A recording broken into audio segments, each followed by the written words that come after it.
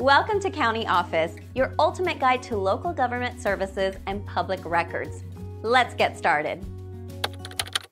Do you have to report student loans on taxes? Understanding the tax implications of student loans is essential for borrowers.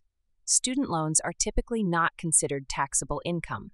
This means that if you receive a student loan, you do not report it on your tax return as income.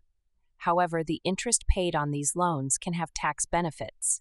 If you are eligible, you may deduct a portion of the interest paid on your student loans. This deduction can reduce your taxable income, potentially lowering your overall tax liability.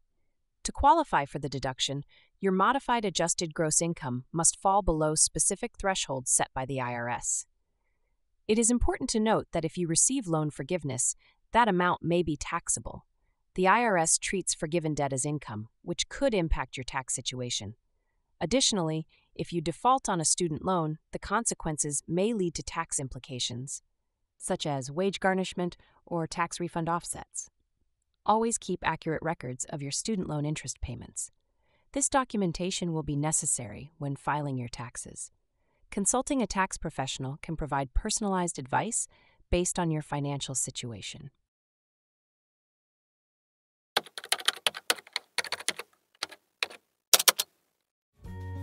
To learn more, check out these links, which you can click in the description below. And feel free to comment your questions. We're here to help.